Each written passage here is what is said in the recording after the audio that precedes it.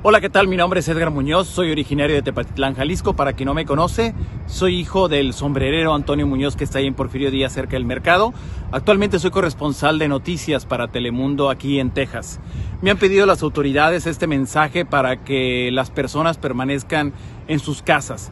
En las próximas dos semanas vienen cosas que quizás no queremos ver, pero se van a dar. Son cosas nuevas. Aquí en Estados Unidos se ha dicho que viene quizá el momento más difícil en la extensión de esta epidemia conocida como el coronavirus.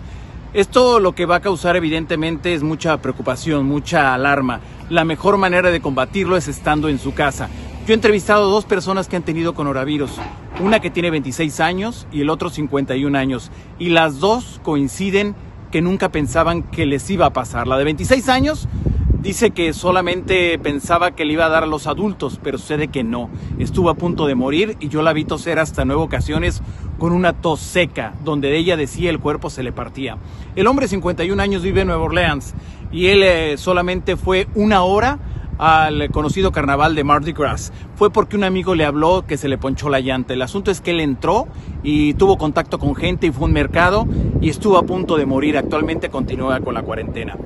¿Qué es lo que hay que hacer? Si usted no quiere contagiarse, si no quiere que su hijo se contagie, su mamá, su abuelo, el amigo del amigo, siga en su casa. Y yo por último les diría, yo que espero del pueblo de la Tierra Roja que me imanta, pues yo espero que salgan los héroes los héroes que llevan comida, los héroes que le hablan a la persona, al vecino que es grande de edad y no puede caminar. Yo espero que aparezcan los héroes de Tepatitlán.